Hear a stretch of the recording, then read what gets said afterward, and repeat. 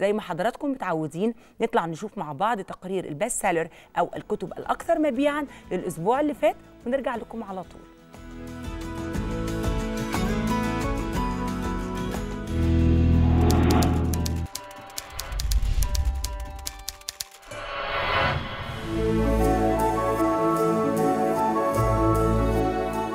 يحكى أن يقدم لكم الكتب الأكثر مبيعاً لهذا الأسبوع وفقاً لما نوهت عنه دور النشر في صفحاتها على مواقع التواصل الاجتماعي. جدير بالذكر أن حركة بيع وشراء الكتب لم تشهد إقبالاً هذا الأسبوع بسبب انشغال القراء بالاستعداد لعيد الأضحى المبارك.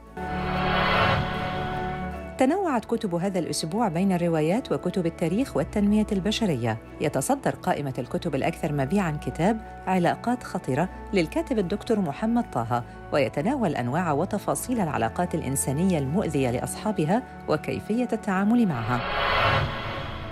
يأتي في المركز الثاني كتاب أم كلثوم وسنوات المجهود الحربي للكاتب والناقد الموسيقي كريم جمال وهو محاولة للبحث عن وجه آخر لكوكب الشرق وكشف خفايا سيرتها.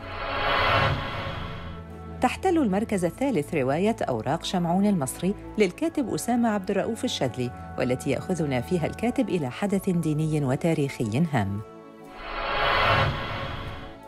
تختتم قائمة الأعلى مبيعاً برواية الكاتبة نورة ناجي سنوات الجري في المكان وتدور أحداثها حول العشر سنوات ما بين ثورة يناير وفيروس كورونا ومدى تأثير هذه المرحلة على جيل كامل.